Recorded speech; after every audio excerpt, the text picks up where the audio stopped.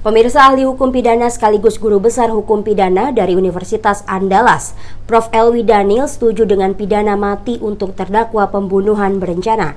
Dikutip dari tribunnews.com, dijelaskan Elwi Daniel saat ditanya oleh Jaksa Penuntut Umum di Pengadilan Negeri Jakarta Selatan terkait pandangannya terhadap hukuman mati untuk terdakwa pembunuhan berencana.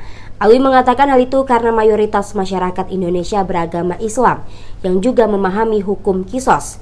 Meski begitu, Alwi menuturkan bahwa dalam rangka menghormati dan mengakomodasi pendapat-pendapat yang berbeda, maka pembentukan RKUHP yang akan datang mencoba mencari jalan tengah.